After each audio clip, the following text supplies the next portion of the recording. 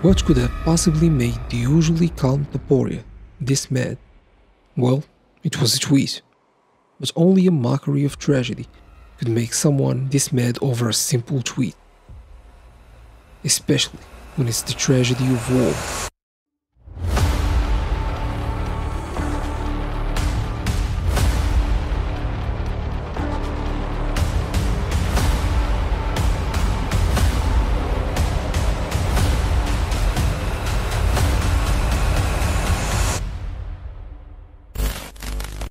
Topuria started training when he moved to Georgia at 7 years old in 2004.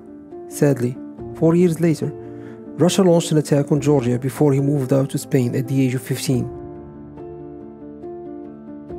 Many of Topuria's classmates and teammates have had deaths in their families because of the war. Because in 2008, I was living in, in, in Georgia when, when the war happened, you know, and it was a very difficult time for me, for my family, for uh, for all my friends, for my country. You know, a lot of innocent people, kids, were dying in that that war. But this will provide Topuria with an advantage that we will discover later. Fast forward a couple of years. Topuria moved to Spain at 15 years old. Him and his brother decided to drop out of school to fully focus on fighting. And and when you were 15, you moved to Spain. Why did you guys move to Spain? I I don't know. You have to ask it. To, you never asked that question. Why are we moving to Spain? That didn't come up. yeah, because of the, of the job. You know, we were living in Georgia, and you know, that time uh, in Georgia, there was a, a little bit of bad situation. You know, and my parents decided to move to Spain, and I think that's why. At first, the plan was to become Olympic champions, but after being inspired by GSP and Conor McGregor, Topuria and his brother decided to focus on the UFC. Who was your first favorite fighter? Like, who was the one that kind of drew you to the UFC and MMA? GSP. Oh yeah. GSP. Yeah. yeah man. Yeah. When I was, he was uh, the first man. I was thinking, I, I want to be like him. And Anderson Silva, yeah, there was a lot of fighters, yeah. Then Conor McGregor comes into the game. Even if the decision was made, Alex and Ilia Topuria didn't have an easy road ahead of them, from freezing gym to lacking equipment, but what they did have is relentless competitiveness. Super potencial, siempre fueron diferentes a los otros, la verdad. Muy competitivos y tenían eso que tenía yo con mi hermano, que eran familia. Y entre ellos se cuidaban, por más que se matan, para superarse, se cuidan como nada. Even when winning, Ilya had to earn every inch of his triumph. He had to work and pay for competitions, from being a lifeguard to a cashier. I was working uh, because I had to pay all the competitions because it, it wasn't free. One of the one was a yeah. cashier, right, at uh, Stradivarius. Stradivarius? Yeah, yeah, yeah, yeah, yeah. It was a, it's a story of of clothes story. Cl- yeah, clothes story. Oh, okay. And I, yeah, I was doing a, a, a grappling classes in, a, in another gym. I was working in, in, in La Playa, como es? On the beach. Uh, on the beach, yeah. yeah. And I was working on securities on, uh, on the weekends. Then came the moment of truth. He had to see how he stacks up against the Europe's best in the All Stars Gym. Y el mejor gimnasio en aquel entonces en Europa era All Stars Gym en, en, en Suecia. Y dije, bueno, eh, me tengo que ir ahí. Me suponía unos gastos. Eh, pedí ayuda a un amigo, él me extendió la mano, fui a Suecia.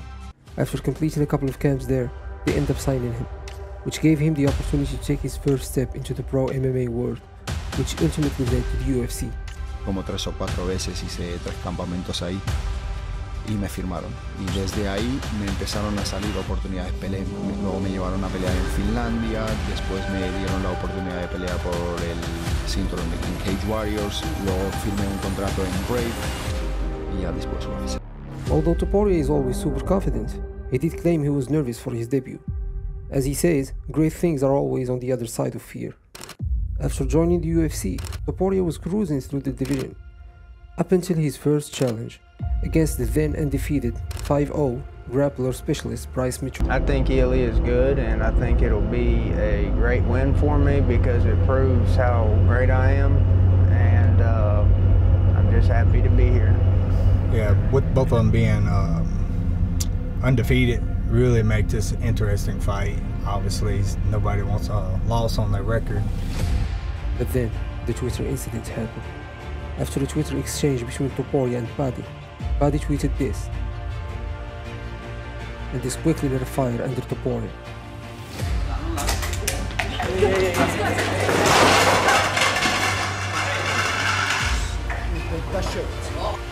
Topuria naturally was very enraged with these comments, as he has lived in Georgia during the time of war. The exchanges between Topuria and Paddy seemed to continue, with Bryce almost becoming an afterthought. Because you know, when I saw when I saw him last time, he got an hand sanitizer bottle bounced off his foot. Hand sanitizer, boy!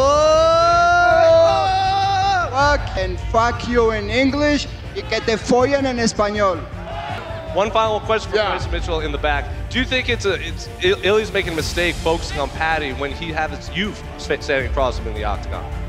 I don't care what he focuses on, brother. I really don't. All I know is I'm showing up to whoop ass. Yes, Bryce!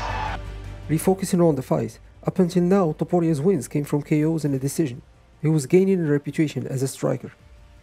People seem to overlook his grappling background, but in true superstar fashion, he wins against a grappling specialist with a submission.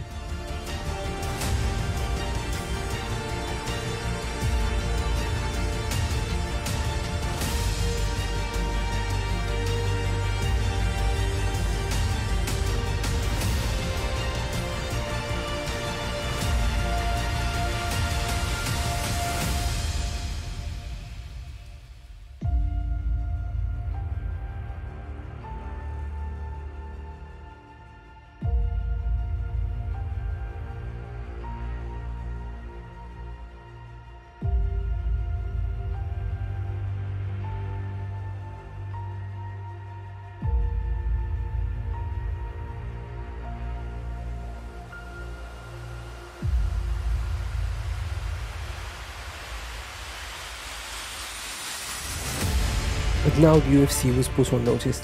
A new challenger has appeared. With almost most fighters wanting the pressure off of them before the fights, Topuria seems to be the opposite.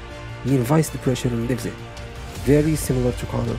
But when you're in it and you're there, when you've made it to the octagon, I just, I feel free. That's why I'm saying I don't feel pressure on, on fight night. Topuria's self-confidence doesn't just show itself inside the cage, but even before entering the ring. Him and his team celebrate the win before the fight.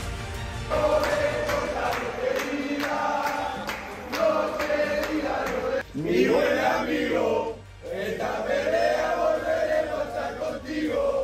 Te alentaremos el corazón. Y esta hinchada que te quiere ver campeón. Topuria was getting closer and closer to his long-awaited title fight, and his next opponent was the veteran Josh Emmett. Ilya Topuria, he's good. He's young, he's hungry. I know how he's thinking, going out there and finishing everybody. I was there too. I beat the best guys in the world. I beat guys in the top 10, the top five. I have to get through him before I can even think about becoming world champion. After winning against Emmett, he got his first title shot against none other than the legend of the featherweight division, Volkanovski.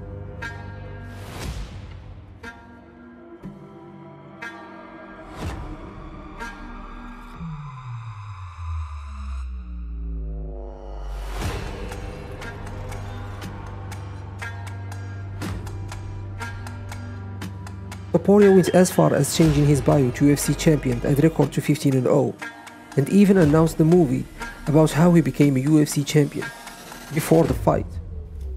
And you updated your profile. Exactly. 15 and 0. Yeah. World I'm champion. Manifesting it.